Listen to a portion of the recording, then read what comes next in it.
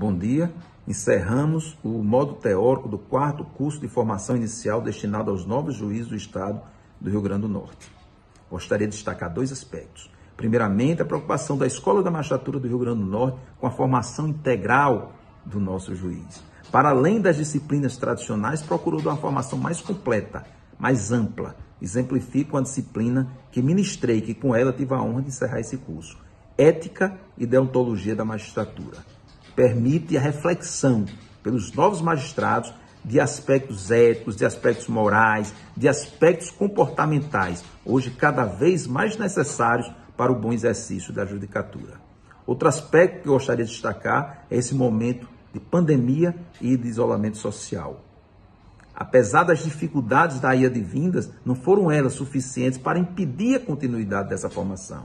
E através de instrumentos que nos, foi, que nos foram oferecidos pelo tribunal e pela escola, como videoconferências, como ambientes virtuais, pudemos concluir esse momento formativo. E a partir daí, oferecer aos jurisdicionados do Estado do Rio Grande do Norte todo o trabalho, toda a dedicação desses valorosos profissionais que tenho certeza estão aptos e capacitados para exercer uma grande tarefa, uma grande função e prestar um grande serviço à magistratura e ao Poder Judiciário do Rio Grande do Norte e do Brasil.